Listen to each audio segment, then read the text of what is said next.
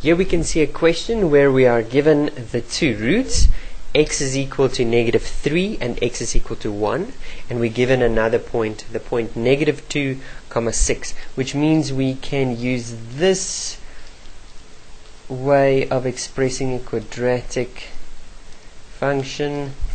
There we go. And since we already have the two roots we can substitute it in there. So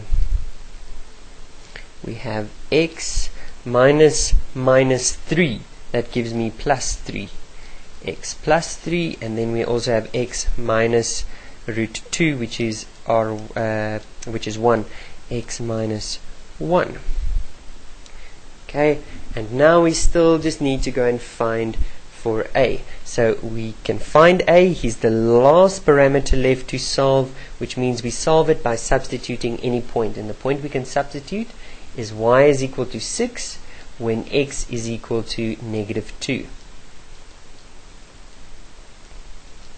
So we replace x with negative 2 and then we find that a negative 2 times um, plus 3 positive 1 and negative 2 minus 1 is negative 3 so positive 1 times negative 3 gives me negative 3 which means that a must equal negative 2. And there we go. So if we had to express it as ax squared plus bx plus c, we would say that negative 2x, let me just multiply this out.